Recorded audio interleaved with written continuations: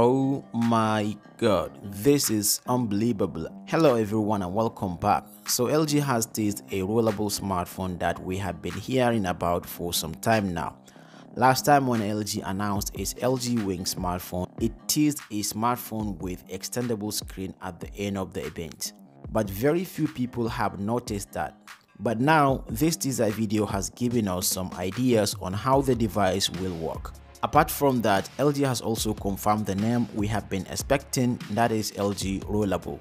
The device is part of LG's Explorer project but there is no information about the specifications of the device price or release date. But according to a picture from Let's Go Digital, the device will feature a 6.8-inch smartphone display when it is rolled in and a 7.4-inch tablet display when it's rolled out. The company is not new to the tech as they already have a rollable TV, so the smartphone will only be in a small form factor. There are also other smartphone manufacturers working on this type of tech. TCL and Oppo have already showcased smartphones with rollable display. I think the future smartphone will be so exciting. But let me know what you think. Thanks for watching.